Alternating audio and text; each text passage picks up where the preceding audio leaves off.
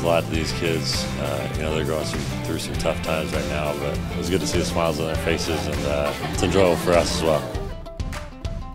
We really love our partnership with the Hornets. Um, it's really fun for our patients and families um, when they're in the hospital to have the players come, have the honeybees come, and have a special fun activity. It just leaves them with some really positive memories from their hospital experience.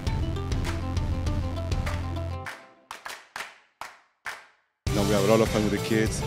And remind us a little bit, I mean, wearing those kids' shoes a couple years ago, having fun during those camps, and to share those moments with them as an NBA player and to teach us some part of the game. That's a great moment for us.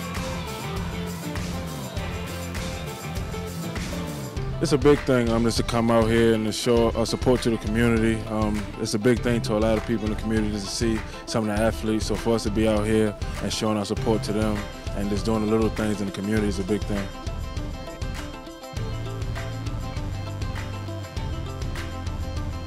The Hornets were here today to help us kick off our hunger relief season. As the official hunger relief partner of the Charlotte Hornets, Food Lion is proud to partner with them to help us uh, further our Food Lion Feeds program, where we want to uh, provide 500 million meals by the year 2020.